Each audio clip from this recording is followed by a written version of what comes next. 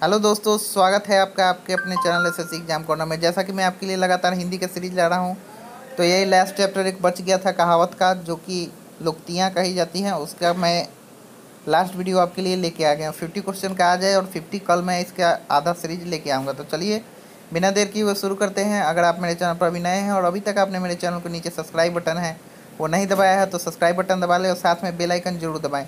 और साथ में एक दो एक नोटिस और भी बताना चाहता हूँ। दोस्तों, जिन जिन लोगों ने बिहार एस एस का फॉर्म भरा है तो एग्ज़ाम होने वाला उसकी पूरी तैयारी विथ टेस्ट सीरीज़ के साथ मेरे चैनल पर कराई जाएगी तो मेरे चैनल से जुड़ना ना भूले और डिस्क्रिप्शन बॉक्स में लिंक दिया हुआ है बिहार एसएससी को लेकर। ओनली फॉर बिहार एसएससी जिन लोगों को एग्ज़ाम देना है तो वो ग्रुप्स को ज्वाइन करना ना भूलें। ओके दोस्तों तो चलिए शुरू करते हैं। अगर वीडियो अच्छा लगे तो लाइक ज़रूर कीजिएगा और दोस्तों में शेयर करना ना भूलिएगा, ताकि उन लोग को भी कुछ प्रॉफिट हो सके। फ़र्स्ट क्वेश्चन है आय थे हरिभजन को ओटन लगे कपास। इसका अर्थ होगा, किसी कार्य विशेष की उपेक्षा कर किसी अन्य कार्य में लग जाना, इसका सही अर्थ होगा। नेक्स्ट है, आगे कुआँ पीछे खाए इसका होगा, सभी ओर से विपत्ति का आना, इसका सही उदाहरण होगा। नेक्स्ट है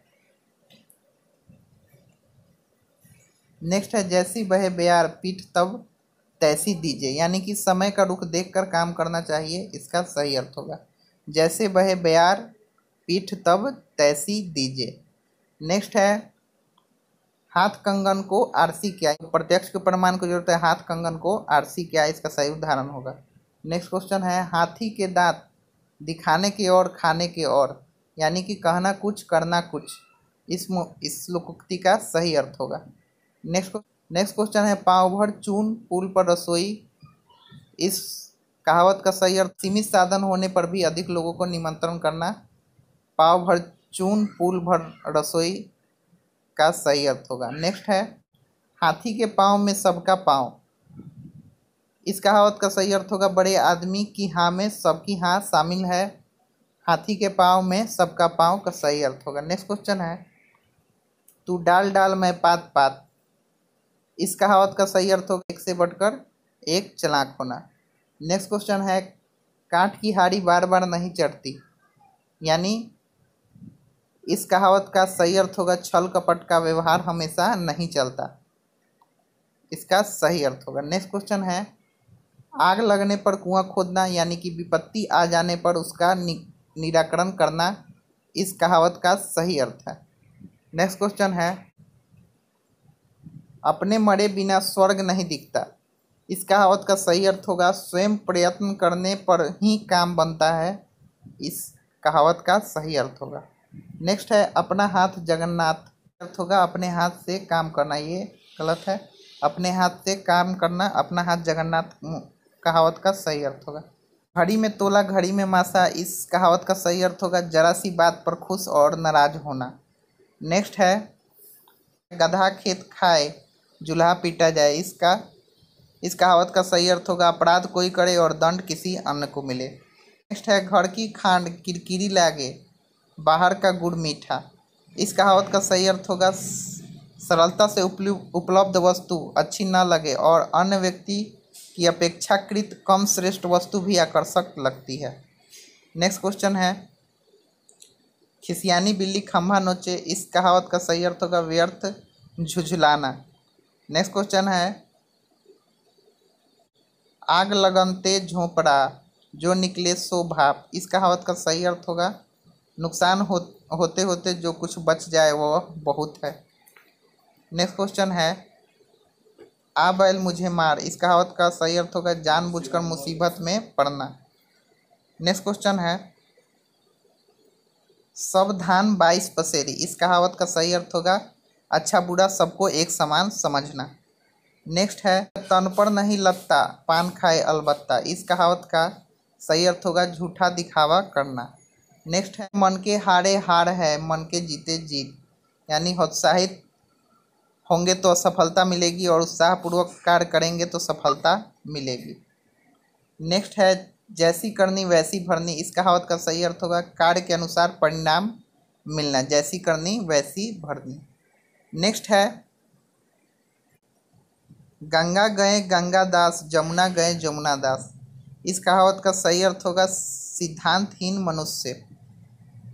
नेक्स्ट क्वेश्चन है। कोयला की दलाली में काले हाथ। इस कहावत का सही अर्थ होगा, बुरी संगति से बदनामी मिलती है। नेक्स्ट क्वेश्चन है, का बरखा जब कृषि सुखाने? इस कहावत का सही अर्थ होगा, काम बिगड़ने पर सहायता व्यर्थ है। नेक्स्ट है, द्विधा में दोनों गए, माया मिली न राम इस कहावत का सही अर्थ होगा, एक चीज़ के पीछे पड़कर दूसरी को भी खो देना। नेक्स्ट है, अपनी करनी पार उतरनी। इस कहावत का सही अर्थ होगा, कर्म का फल अवश्य मिलता है। नेक्स्ट क्वेश्चन है, हाथ कंगन को आरसी क्या? इस कहावत का सही अर्थ होगा, प्रत्यक्ष को प्रमाण की आवश्यकता नहीं हो। नेक्स्ट है, चमड़ी जाए पर दमड़ी न जाए। इस कहावत का सही अर्थ, मर जाए पर पैसा ना जाए। नेक्स्ट है, सावन हरे न भादो सूखे। इस कहावत का सही अर्थ होगा सदा एक समान रहना। नेक्स्ट है, एक पंथ दो काज। इस कहावत का सही अर्थ होगा एक काम से दोहरा लाभ। नेक्स्ट है, प्रभुता पाई कहीं मद नाही। प्रभुता पाई कहीं मद नाही। इस कहावत का सही अर्थ होगा धन वैभव प्राप्त होने पर मनुष्य में घमंड आ जाता है। नेक्स्ट है अंत भले का भला। यानी कि इस कहावत का सही अर्थ होगा, अच्छे कार्य का परिणाम भी अच्छा होता है। नेक्स्ट है, भागते भूत की लंगोटी भली। इस कहावत का सही अर्थ होगा, जो मिल गया वही बहुत है। नेक्स्ट है, घर का जोगी जोगना आन गाँव का सिद्ध। इस कहावत का सही अर्थ होगा, अपने गाँव, घर की अपेक्षा अन्यत्र अधिक सम्मान। हाथी निकल गया, दुम रह गई। इस कहावत का सही अर्थ है, सारा काम हो गया, बस थोड़ा सा शेष रह गया। नेक्स्ट है, सांच को आँच नहीं, यानी कि सच्चे को डरने की आवश्यकता नहीं। नेक्स्ट है, हाथी के दांत खाने की ओर, दिखाने की ओर। यानी कि इस कहावत का सही अर्थ होगा, कपटपूर्ण व्यवहार। नेक्स्ट है, पाँव भर चून, पुल पर रसोई। यानी कि सीमित साधन होने पर भी अधिक लोगों को कर लेना। नेक्स्ट है पढ़े फारसी बे, बेचे तेल यह देखो कुदरत का खेल। यानी इस कहावत का सही अर्थ होगा विवश होकर योग्यता से निम्न स्तर का काम करना। नेक्स्ट क्वेश्चन है, खोदा पहाड़ निकली चूहिया, यानी कि अधिक परिश्रम किंतु लाभ कम। नेक्स्ट क्वेश्चन है आँख का अंधा, गांठ का पूरा इस कहावत का सही, बिना विचारे धन खर्च करने वाला कहावत का सही अर्थ होगा। नेक्स्ट आम खाने या पेड़ गिनने। इस कहावत का सही अर्थ होगा व्यर्थ की बातें न करके केवल अपने मतलब की बात करना। नेक्स्ट है खेती पाती बीनती और घोड़े की तंग।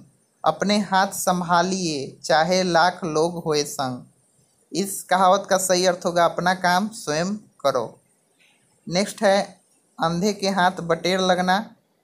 यानी इस कहावत का सही अर्थ हो जाएगा बिना परिश्रम के सफलता मिल जाना।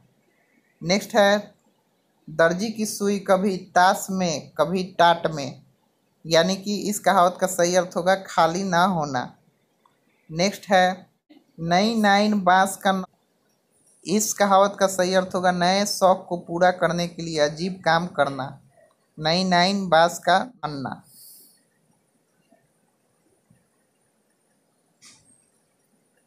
नेक्स्ट है ऊँट को निगल लिया और दुम को हिचके। यानी कि बड़ी विपत्ति को स्वीकार करना और साधारण बात पर संकोच करना, इस कहावत का सही अर्थ होगा। नेक्स्ट है, गधा खेत खाए जुल्हा पीटा जाए। इस कहावत का सही अर्थ होगा किसी के कर्म की सजा अन्य को मिलना। नेक्स्ट है, हथेली पर सरसों नहीं जमती, यानी कोई कार्य झटपट नहीं हो सकता। तो ये थे कुछ इंपॉर्टेंट लुक्तियाँ जो कि आपके आने वाले एग्ज़ाम के लिए एक नज़र मैंने लाया था। तो ज़रूर एक नज़र देख के जाइएगा पूरा वीडियो आई होप आपको वीडियो अच्छा लगा होगा। नीचे लाइक बटन है। लाइक ज़रूर कीजिएगा और शेयर भी है। दोस्तों के साथ आप शेयर भी कर सकते हैं। ओके दोस्तों वीडियो अच्छा लगा हो तो सब्सक्राइब करना ना भूलिएगा। सब्सक्राइब और साथ में बेल आइकन ज़रूर दबाइएगा ताकि मेरे वीडियो का अपडेट आपको मिले।